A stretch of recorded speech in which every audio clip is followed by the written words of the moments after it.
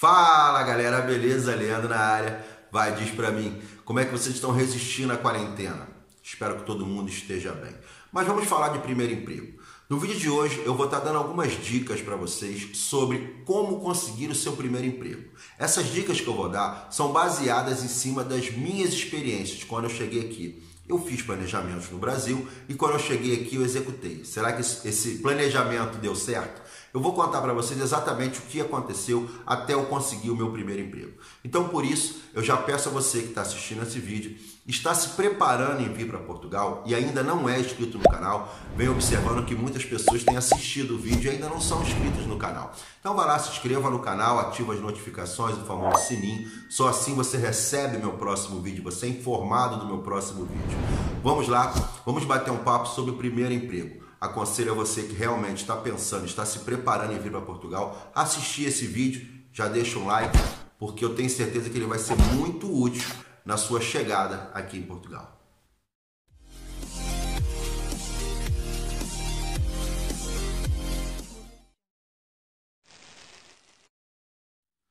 Bom, nesse vídeo vamos direto ao assunto, né? Eu só quero lembrar e ressaltar que o que eu vou falar agora nesse vídeo está baseado nas minhas experiências pessoais, o que eu vivi aqui.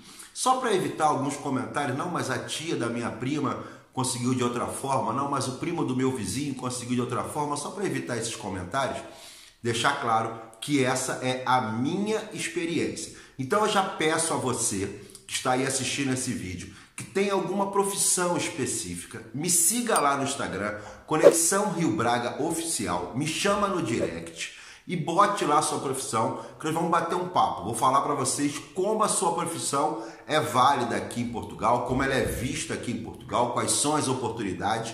Então é importante agora a interação de vocês. Me siga lá no Instagram, Conexão Rio Braga Oficial, me chama no direct e coloca lá, que eu vou responder um a um como é a sua profissão aqui no país, principalmente aqui em Braga, onde eu tenho maior conhecimento. Então vamos lá.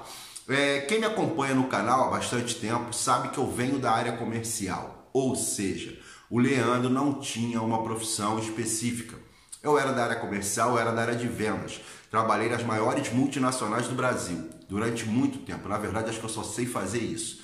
Enfim, eu estava lá, era da área de vendas, trabalhei nessas grandes empresas e falei, bom, não vai ser difícil de eu me recolocar. Primeira coisa que eu fiz foi começar a fazer uma pesquisa a nível de conhecimento, saber como que era o mercado nesse segmento aqui. Entrei nos sites é, é, de empregos aqui de Portugal, então já aconselho a vocês a entrarem nesses sites. Entre aí, busca, eu vou deixar no, na descrição desse vídeo alguns links de sites de emprego aqui. E aí eu comecei a ver que tinha muita oportunidade, muita, muita, muita, muita, muita oportunidade mesmo. Eu falei, bom, tô bonito, tô tranquilo, vou chegar lá, vou me encaixar na minha área de trabalho. Beleza? Beleza. Vim para cá, vim para Portugal, cheguei em Braga. O primeiro passo que eu fiz aqui foi resolver a minha documentação e reconhecimento de terreno, né? Eu fiz um vídeo aí, eu vou deixar aqui na aqui o link onde eu falo da minha chegada, dos dois primeiros meses, como é que foram.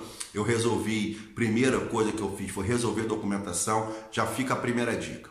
Quando você chegar no país, resolva a questão de documentação primeiro, se estruture para depois você turistar. Né? Eu, eu já falei isso várias vezes. Eu vou fazer aqui quase três anos e não conheço praticamente o país. Para ser sincero, eu não conheço nem minha cidade direito. Porque nesses três anos o que eu fiz foi trabalhar e tentar reconstruir a minha vida. Porque, cara, se você escolheu Portugal para você viver, você vai ter o resto da tua vida para você viver nele, você conhecer o país. O momento, quando você chega do começar do zero, às vezes algumas pessoas acham que isso é uma frase pronta, mas não é. O começar do zero realmente é muito difícil. Então você tem que realmente começar a plantar para depois colher. Enfim, essa é a primeira dica que eu dou para vocês. Busquem para você saber como que é a procura do teu emprego aqui em Portugal, como que funciona isso. Quando você chegar, você resolve documentação, começa a se estruturar profissionalmente a sua casa para depois você turistar. Mas enfim, eu cheguei, resolvi, resolvi minha documentação e comecei a minha busca nessa área comercial. Comecei a mandar um monte de currículo, preparei um currículo aqui e comecei a enviar. Recebi várias chamadas. Aí entra a primeira, a primeira, o primeiro choque de diferença cultural. Aqui eles têm um trabalho de vendas muito forte na área do porta a porta. Sim, venda de porta a porta. Serviço de, de telefonia, serviço de gás, serviço de eletricidade. Eles têm esse serviço porta a porta. É, eu costumo dizer que muitos brasileiros começam nesse, nesse trabalho. Mas para mim não era o que eu queria. Não pelo, pelo, por ser uma coisa diferente, que era uma, um mercado que eu nunca tinha trabalhado, trabalhado, atuado, mas não é nem por isso. E sim porque normalmente, normalmente, essas empresas não te dão um, um salário fixo. Elas trabalham com você em relação à comissão. E naquele momento, no início, eu achava que não era para mim. Eu não, eu não podia me dar o luxo de trabalhar por comissão. Eu tinha que ter alguma coisa concreta. Continuei minhas buscas até que apareceu um emprego numa empresa de segurança, é, é, aquelas seguranças, é, empresas de segurança privada, mas é, é, serviço de filmagem, esses negócios nas residências, nas empresas.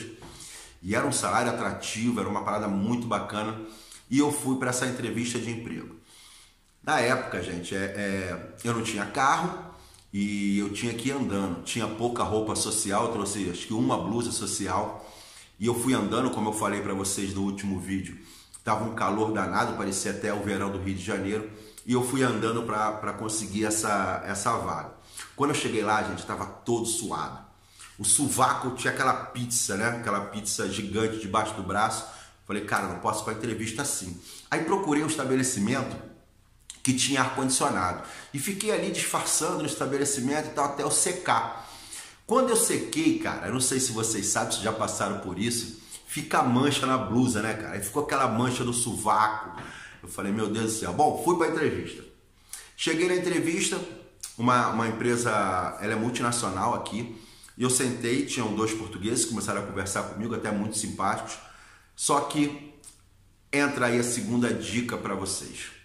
Vocês agora estão no período de quarentena, estão em casa, estão buscando conteúdo, buscando informações, estão tentando se preparar, realmente se preparem. E uma coisa simples para vocês fazerem, simples, muito simples. Acompanha os noticiários, a televisão daqui de Portugal, ouça as rádios, ouça as músicas de Portugal. É, você sabe que a nossa língua é a mesma, a pronúncia é muito diferente, tá? Então assim, eles falavam comigo e eu não entendia o que eles falavam muitos portugueses agora que vão, estão assistindo esse vídeo. É, agradeço a todos os portugueses que estão agora assistindo, porque eu tive um aumento muito grande em número de, de, de visualização aqui em Portugal. Então eu estou tendo a visita de muitos portugueses dentro do meu canal. Eles não gostam que eu fale isso. Mas a grande verdade, como eu falo, que é a verdade nua e crua, e a verdade nem sempre as pessoas gostam de ouvir, nós não consumimos, infelizmente, é, aí no Brasil, noticiário português, música portuguesa. Então a gente acaba não se, se, se familiarizando com, com, a, com a língua, né? que é a mesma, mas é, é, é com pronúncias diferentes. Então isso para mim foi um dificultador muito grande. Parece brincadeira, alguns portugueses não entendem, mas é verdade. Eu não entendia nada que o cara falava e pedia para o cara repetir. Pode repetir? Pode repetir? Pode repetir? No final da entrevista, eu todo suado, com, com a mancha da pizza debaixo do braço. Eu falei, olha, muito obrigado, mas se eu não consigo entender o que você me fala, eu não vou conseguir vender seu produto. Levantei e fui. Desanimado, triste pra caramba, saí andando, era um chão grande. Quem conhece Braga, quem é aqui de Braga, eu, eu andei da, da onde eu moro, do Real, até Lamaçãs, a pé. É uma belíssima caminhada e meio que desolado, porque já tinha passado acho que dois meses, eu não tinha conseguido me, um emprego. E foi aí que eu falei, bom, eu tenho que abrir o leque. E aí vai a terceira dica para vocês. Bom, já peço a vocês, se está gostando dessas dicas que eu estou dando, dessa história que eu estou contando para vocês, deixa um like aí no vídeo, se inscreva no canal, vai estar tá me ajudando bastante, ok? E aí eu falei, bom, eu tenho que abrir meu leque, eu tenho que abrir a minha mente para novas opções. Foi aí que eu comecei a mandar currículo para indústrias. Indústrias, sim, eu nunca tinha trabalhado numa indústria, nunca tinha trabalhado no chão de fábrica. E eu fui chamado por uma grande empresa aqui, uma empresa que eu tenho um carinho gigantesco por essa empresa, e gigantesco pelas pessoas dessa empresa. Vai aí a quarta dica. Quando eu cheguei nessa empresa e fui para a entrevista, comecei a conversar com o chefe de RH do Recursos Humanos, uma pessoa extraordinária, uma das pessoas mais inteligentes que eu já conheci aqui em, aqui em Portugal.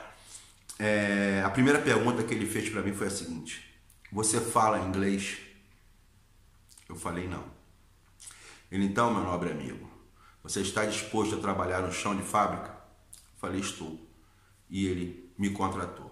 Então, essa é a quarta dica. Você está em casa, se inscreve num curso online de inglês. Tem cursos gratuitos para você.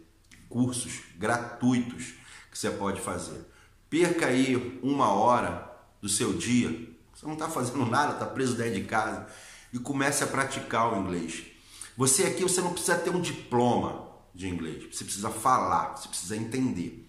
Se eu, na época, tivesse esse curso de inglês, de repente minha história toda seria diferente. Eu estaria, de repente, nessa empresa até hoje, porque é uma, uma empresa que eu gostei muito de trabalhar. Enfim, comecei a trabalhar nessa empresa. Antes disso, deixa eu dar uma, fazer um adendo. É, muitas pessoas falam sobre transporte público na Europa. Tá? O transporte público ele funciona muito na ligação de um, de um, de um local a outro, assim, de uma cidade a outra, de uma grande região para uma outra grande região.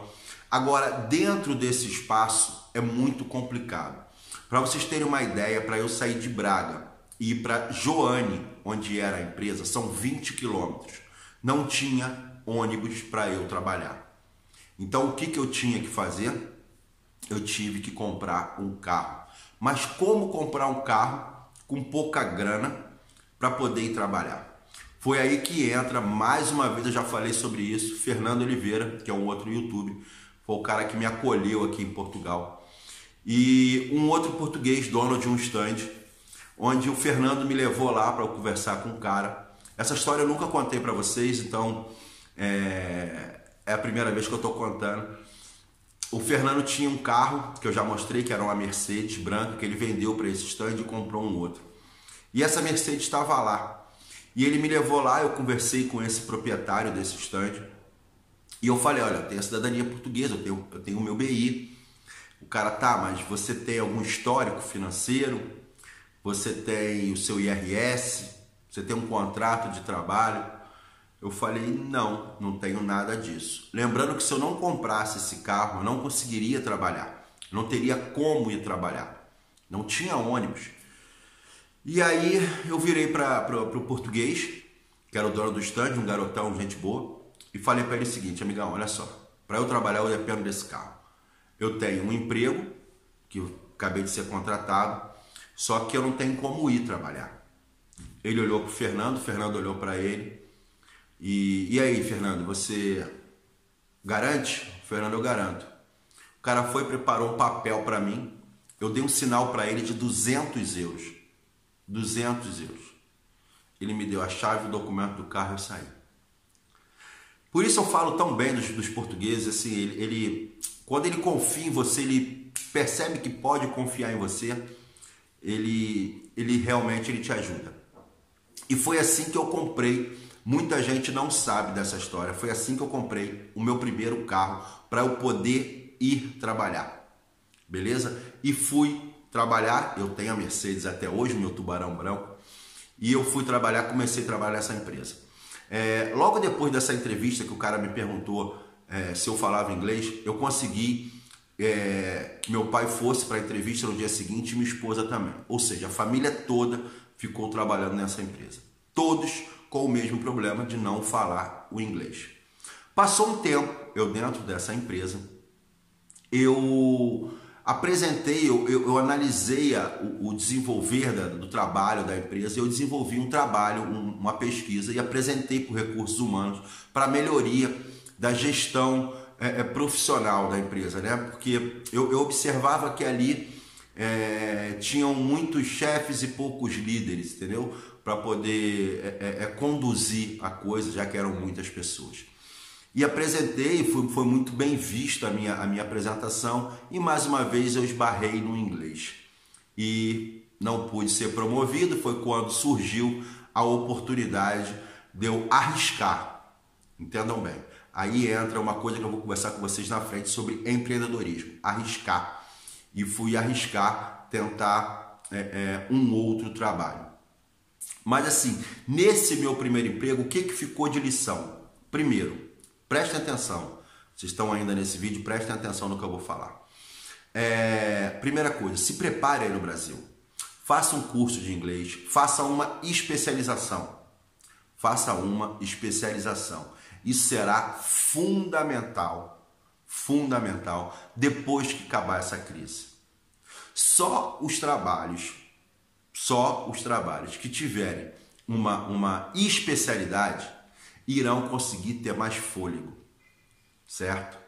Outra coisa, Portugal é um, é um país onde recebe muitos turistas. Então essa área da restauração sempre estará aquecida. Né? Eu sei que muitos passarão por problemas, mas continuará ativa.